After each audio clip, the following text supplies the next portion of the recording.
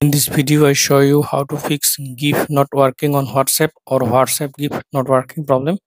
For solving this problem, go to Play Store, search for WhatsApp, tap on WhatsApp, update your WhatsApp to latest version.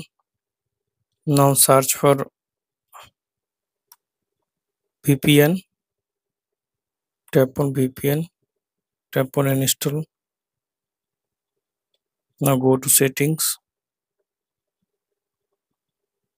scroll down, then go to apps. Now search for WhatsApp,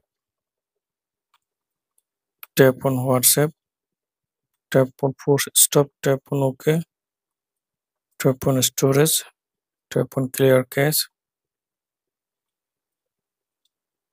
tap on permission, allow all permission. Now open the VPN app, tap on next, tap on accept, install VPN profile OK, not now, then tap on connection.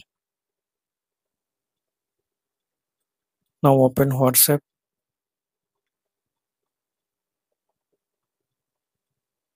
now tap on emoji icon. Now can you can see that WhatsApp GIF.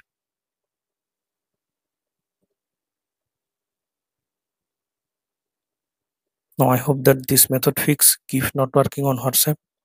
If this method not working and you have to reinstall your WhatsApp before doing this backup your WhatsApp data then reinstall WhatsApp. I hope that this method fix your problem.